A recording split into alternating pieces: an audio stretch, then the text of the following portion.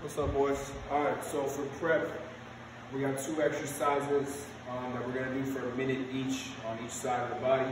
Okay, so the first one is called a band clam.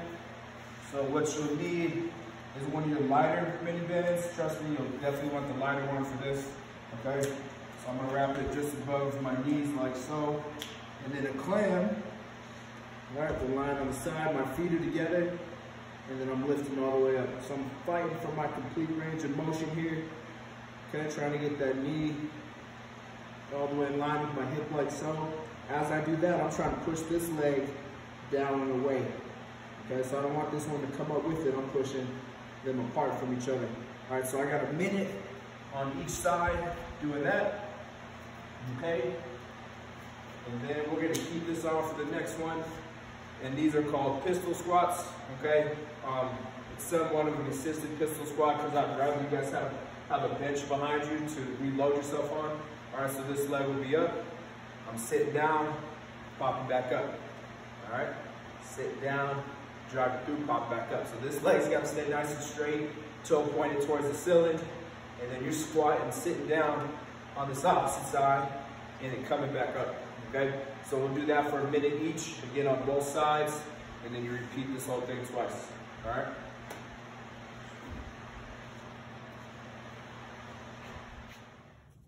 All right, boys, so for foundation, we're gonna do row holds, okay? Row holds from a straight arm in bent arm position. So what you'll need is again, your bench, stool, box, whatever, okay?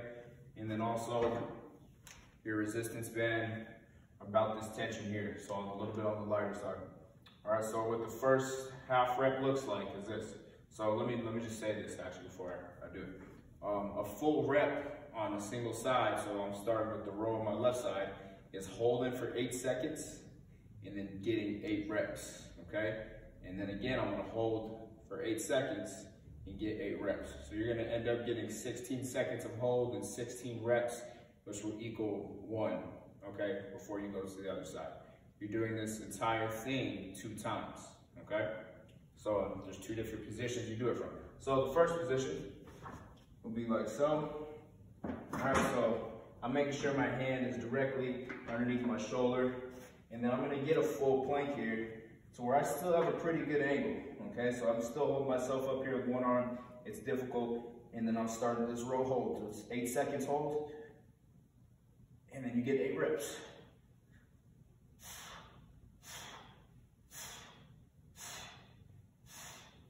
Eight, and then I hold again. And again.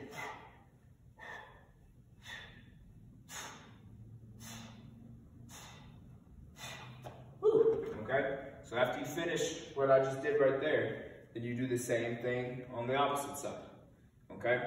As soon as you're finished with that, you got one rep done, so then you go to bent arm, okay? So bent arm is pretty self-explanatory, so instead of my arm being straight, now I'm on the elbow like so, okay? Might have to slide this a little bit lower, just to keep our attention. All right, but again, we're right here, starting off in that plank position. All right, so notice my hips aren't in the air like so. Squeezing my glutes, pushing down like that. Again, hold for eight seconds here. And rep eight times.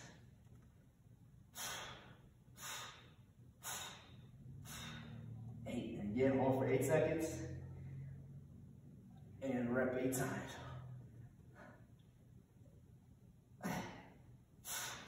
All right, as soon as I finish with that, obviously I do the opposite side, okay? And then I'll go through that one more time, starting with the straight arm, left, right, bent arm, left, right, and then you'll be finished with that. All right, boys, work hard.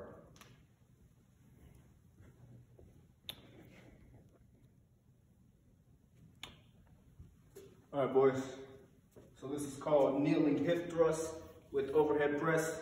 So what you'll need is a stronger band, tied low around the post like so. All right, coming down here to my knees. It's right around the waist with the band, taking a couple steps forward where I got some tension right there. All right, if you have a dumbbell, use somewhere between 15 and 25 pounds. If you don't, use something like a stack of books, a heavy ball, something in that fashion, okay? And basically what I'm doing is pushing my butt to my heels and then driving straight up, biceps to ear with that press. All right, so you're gonna have 20 of these. Make sure you're not arching your back when you press. You're just coming straight up.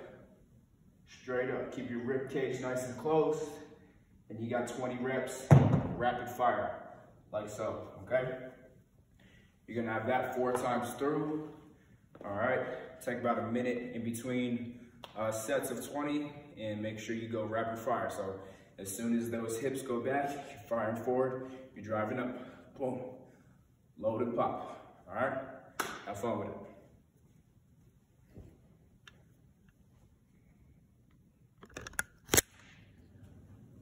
Boys. So for accessory, you're going through five rounds here, and we're gonna do 10 reps of each exercise, okay? Um, obviously, if it's unilateral, which means you're doing it on one leg, you do 10 reps on one leg, 10 reps on the other. All right, if it's bilateral, you're doing it on both sides, just 10 reps in total. All right, so for the first one is banded RDL. So get one of your stronger bands here, okay? We're gonna rise this up, place this around our shoulders, like so. Okay, my feet shoulder width apart, screwing my feet into the floor, and then I'm just hinging at the hips, coming up, nice and explosive. All right, if this 10 feels too easy, obviously you can always add resistance by adding a bigger band or just adding a smaller band to the one that you have. Okay, so I have my 10 reps there. All right, next is Cossack squats. All right, so for that, push this back a little bit. I want you to find somewhere to kind of hang up your band, all right? Or if you can use a post or something solid to help keep you upright through these, that's what we want here, okay?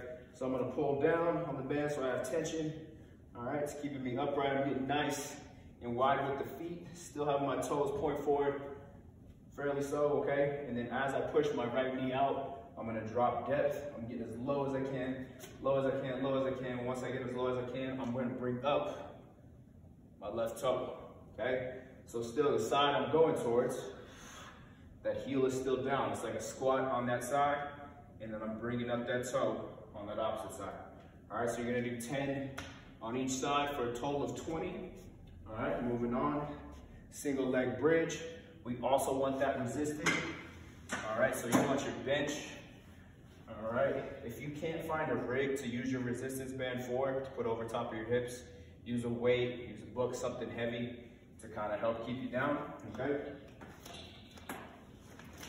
Help give you some resistance. So this is what we want here. So I'm putting this right over top of my hips. I got this right over, right underneath my shoulder blades rather. All right, I'm rooting one foot through the floor, my other leg's up, and then I'm just driving, hips the ceiling like so, nice and explosively. Butt touches, get up quick, roll pulls you down, get up quick, boom, boom, boom, okay? So a rapid fire 10 right there. Still try to keep your form as relatively clean as possible to get these reps up quick. All right, so it's 10 on the right, 10 on the left there as well. And then for the last one, I'm again gonna use my bench here. Okay, we're gonna go rear foot elevated sprinter lunge. So here. So as you guys remember from a couple weeks ago, sprinter lunge, I want to get into that hip hinge position. So I'm pushing my butt all the way back. I'm leaning forward here. And I'm thinking about driving this rear knee, this back knee, all the way to the floor. And then I'm coming back up. So again, we're gonna get 10 of those where your chest is parallel with the floor. I'm hinging at the hips. My butt, hamstrings are getting a lot of activation with this one. All right, so again, 10 on the right, 10 on the left with that one, and you'll repeat this five times through, y'all. All right, let's work hard.